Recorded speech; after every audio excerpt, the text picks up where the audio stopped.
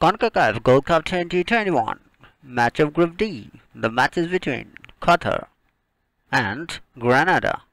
The match is on 17 July 2021 Grenada time and 18 July 2021 Qatar time. Match time of this match.